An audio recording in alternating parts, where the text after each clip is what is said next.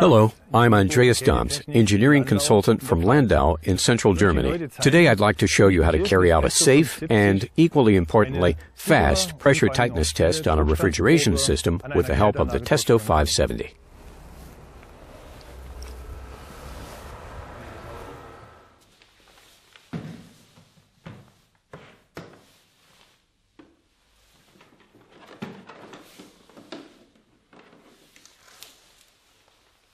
For the pressure tightness test, I attach the instrument to a stable site close to the plant. benötige ich einen Temperatursensor, I also need a temperature sensor which I can plug into the high pressure side of the instrument einstecke und das Gerät and switch the instrument on.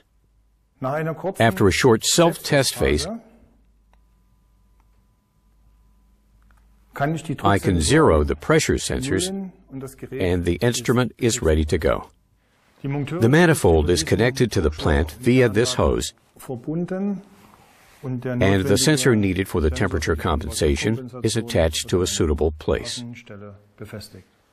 Alle Ventile der All of the manifold's valves are closed, und für die spätere and I connect the filling hose to the bottle for later filling the system with dry nitrogen and open it. According to the specification plate on the plant, the maximum positive operating pressure is 6 bar. diese 6 Bar sicherzustellen, In order to ensure these 6 bar, I will now switch the instrument mode over to tightness test umstellen und den Druck and release the pressure to the system. The test pressure corresponds to the maximum positive operating pressure, and I can now start the temperature compensated pressure tightness test.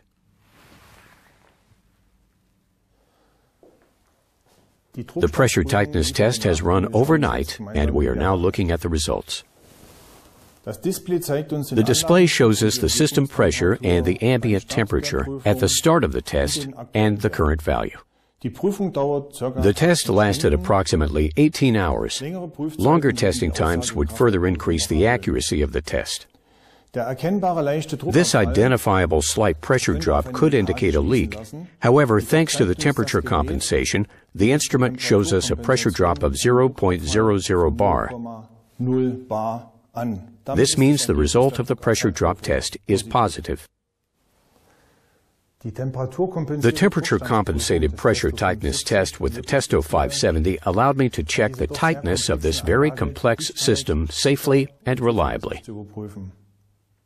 Dies ist eine This is an important prerequisite for the secure operation of this plant.